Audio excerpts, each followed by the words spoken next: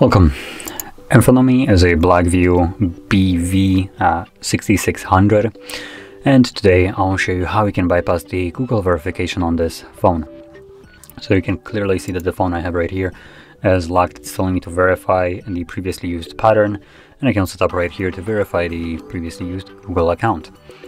So now, assuming we don't know either of those, we can just bypass this.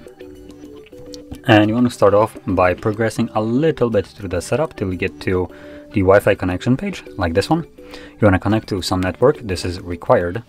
Once you have connected to your network, you will go back to the first, first page. And from here, we're going to select Vision Settings. Talkback. We're going to enable it. Talkback on. Talkback.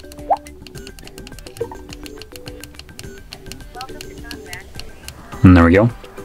Now muting it is not uh, required, though it is annoying, so if you want to, you can mute it just as I did.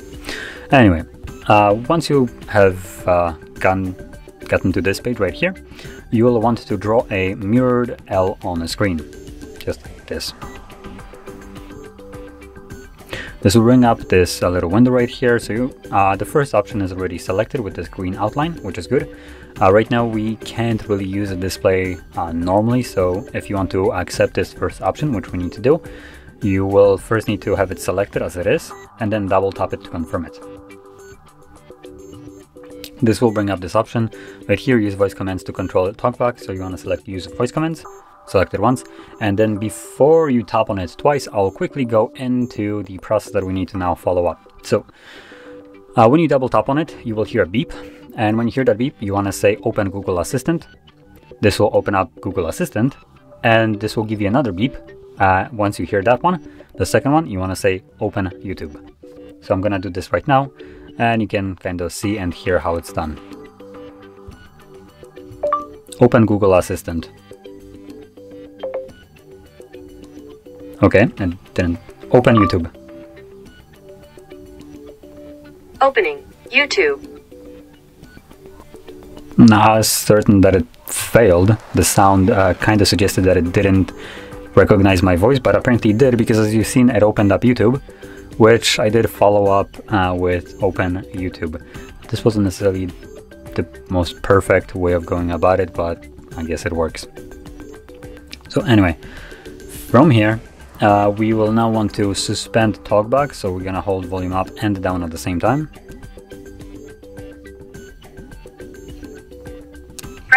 You're gonna select turn on, double tap, then hold those two keys again, and now we can use our display normally.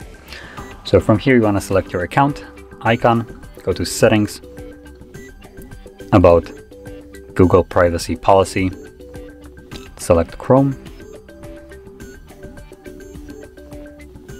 accept and continue and no thanks. And then right at the top you want to navigate to hardreset.info slash bypass.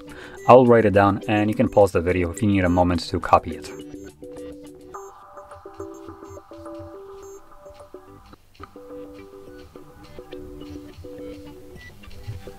So now would be the time to pause. Anyway, from here you will scroll down to settings.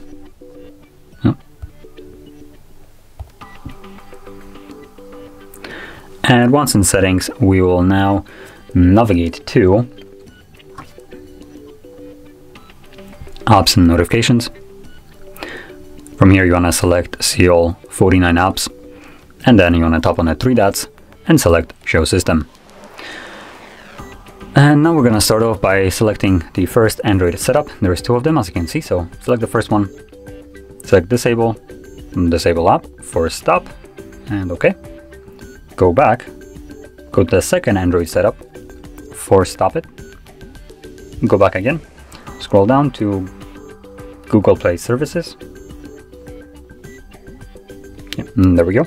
As you can see, it's like a little bit for past like half point so once you find your Google Play services, click on it, and again, disable, disable app, force stop, and okay. We're gonna go back. We're gonna go back once again, and again to the main settings page. And from here, we're gonna navigate down to accessibility.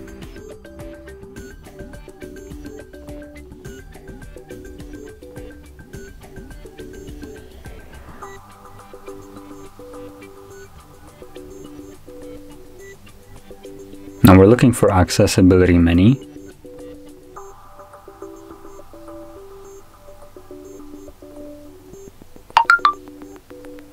Oh, it's right at the top. How did I not see it?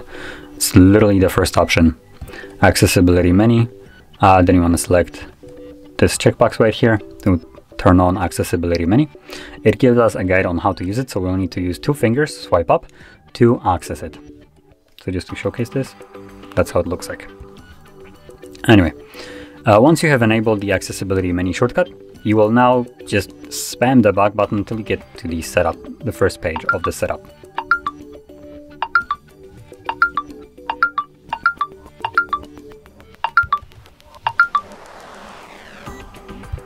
There we go. So, uh, from the first page right here, you will now want to progress through the setup. Now, because we are already connected to Wi-Fi, it skips that page and goes automatically to the next one, which is uh, this, I believe. Yep, checking for updates, just a second, again, checking updates. So that's what you're looking for. Once it's stuck on this page, which it will be stuck if everything is done correctly, uh, you will now want to use the uh, the accessibility menu. So to swipe up, two, two finger swipe up, you will select assistant, then press settings.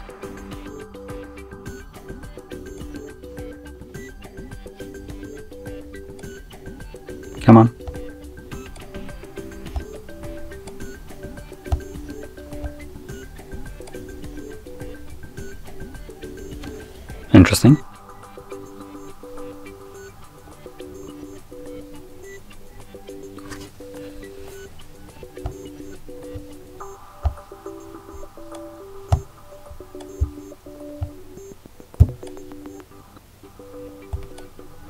And there we go. I don't know why I didn't want to open up uh, sooner. Now this is kind of random, so I guess it's to be expected.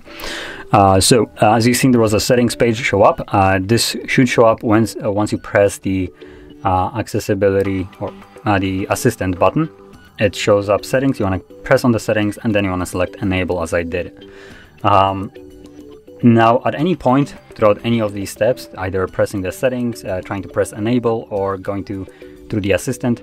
Uh, this will close off um, and you just kind of have to keep repeating this till you manage to do the entire process uh, you get to enable this button or press enable here.